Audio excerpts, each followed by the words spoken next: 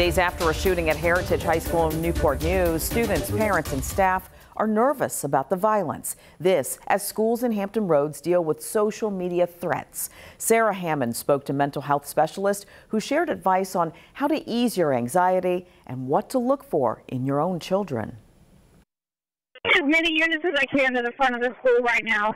It's been four days since a 15 year old Heritage High School student allegedly shot two of his classmates. Since then, police have been investigating other threats at schools all over Hampton Roads, which means added anxiety in an already stressful school year. And people don't know what's next.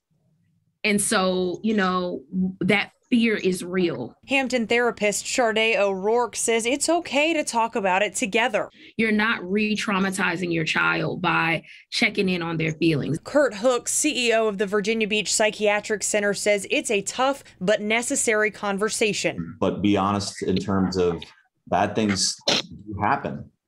And but reassure as well that there are people in the community that are looking out for their safety. In terms of moving forward, Hook says sticking to a routine and filtering out unnecessary information can help ease everyone's anxiety. For Heritage High students, he encourages them to rehearse what it will be like back on campus. That could be very helpful in terms of okay, let's talk through this, what this is going to be like. On the other side, both say there's no surefire way to predict if your own child could become the one making a threat or pulling a gun, but there are things you can watch out for. Social withdrawal, maybe aggressive conversations. O'Rourke says the main thing to remember is that it's okay to ask for help. Whether you were at school that day or not, whether you were, at, you know, in in the classroom, you just got hit by a car trauma. You know, you just got hit by a car.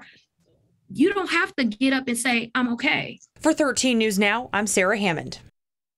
O'Rourke also says parents, whether parents are watching out for warning signs or making sure their child is okay, it is vital to be connected both emotionally and in physical space.